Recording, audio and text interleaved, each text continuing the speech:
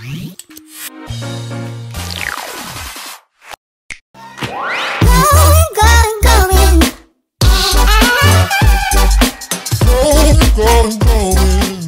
today's video is going to be another Halloween one. As you can tell, I am not my normal self. Today's video is going to be some Halloween like Snapchat filter makeup costume things. Obviously they're not like scary costumes, but in case you just want to wear like nice clothes and kind of do something cute with the face, then you can do this. I think the fawn is really cute if you're like better at makeup than I am because I was like this. but I really hope you guys are excited to see this video. It took way longer to film than I expected. And yeah, I just hope you guys are excited and enjoying the Halloween series. And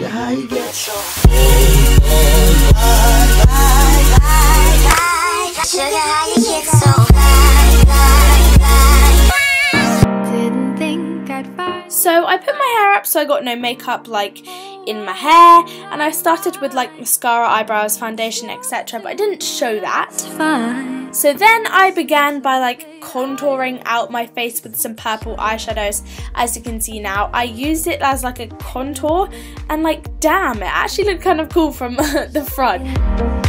So then I obviously, I mean, I personally wouldn't contour like this anymore, but I put it like around my forehead and then cleaned it up with translucent powder.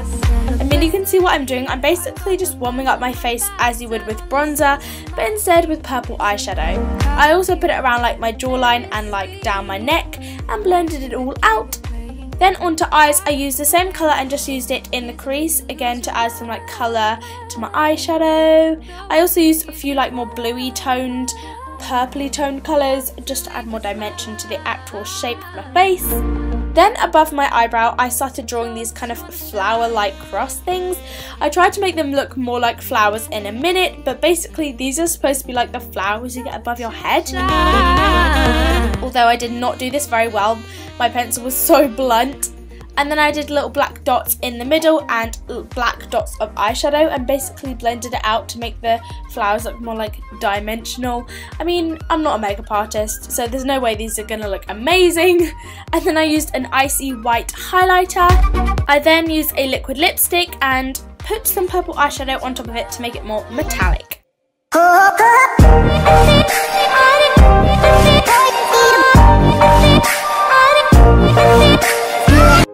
Started by taking this like orange eyeshadow and I realised it was not orange enough, it was way too brown toned, but it was quite warm, so that was good. Anyway, what am I going on about?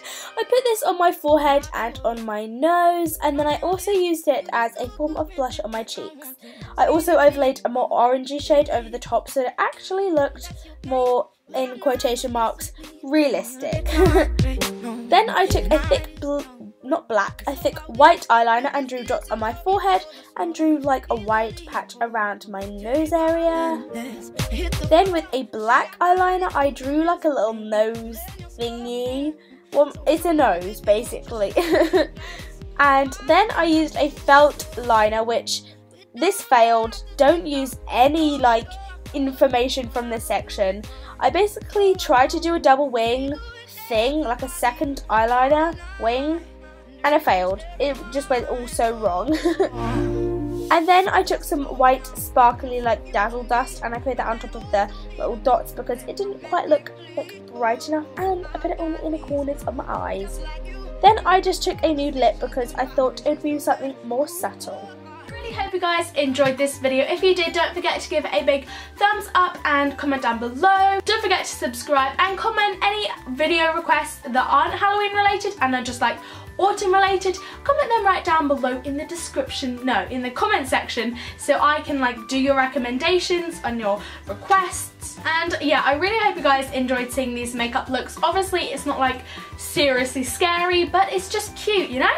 And so I hope you guys enjoyed it and I will see you very soon with a new video. Bye guys!